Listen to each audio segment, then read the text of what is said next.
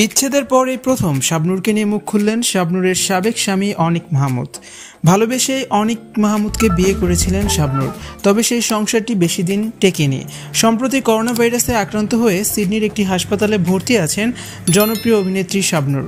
এই খবর পেয়েছেন অনিক মাহমুদ।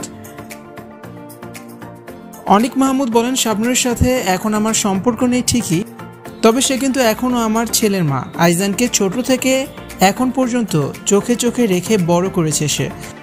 অস্ট্রেলিয়ায় থাকাতে আমি ছেলেকে তেমন সময় দিতে পারি না। ওর যা যা প্রয়োজন সব ওর মাই করে। স্ত্রী হিসেবে সে যেমনই হোক না কেন, মা হিসেবে সে দায়িত্ব পালন করে চলেছে।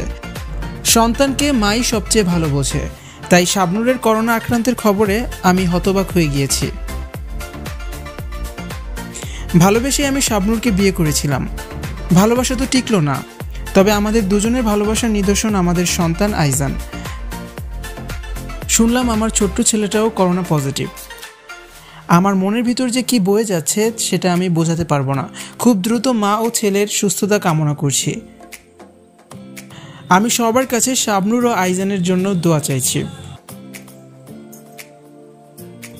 করোনার প্রকোপ শুরু হলে শাবনুর তার ছেলেকে নিয়ে অস্ট্রেলিয়ায় চলে যান। এর কিছুদিন পর জানা যায়, শাবনুর তার স্বামীকে ডিভোর্স দিয়েছেন। ডিসেম্বরের শেষ দিকে করোনায় আক্রান্ত হয়ে হাসপাতালে ভর্তি হয়েছেন শাবনুর। এর একদিন পর করোনা ধরা পড়ে শাবনুরের ছেলে আইজানের। হাসপাতালে বসেই ছেলের এমন খবর পেয়ে কাঁদছেন নায়িকা শাবনুর। দেশবাসীর কাছে দোয়া চেয়েছেন আইজানের সুস্থতার জন্য।